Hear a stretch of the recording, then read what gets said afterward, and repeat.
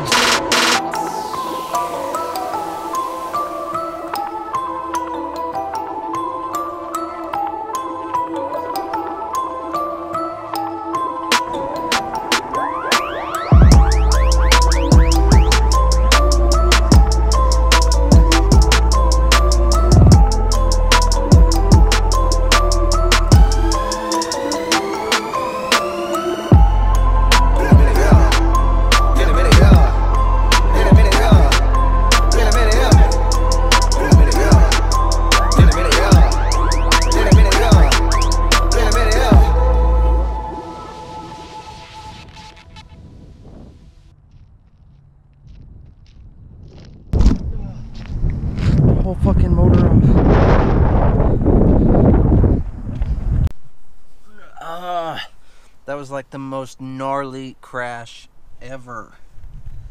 Like I've had arms break off and like the motor leads hold on, or the motor fall off and the motor leads hold on.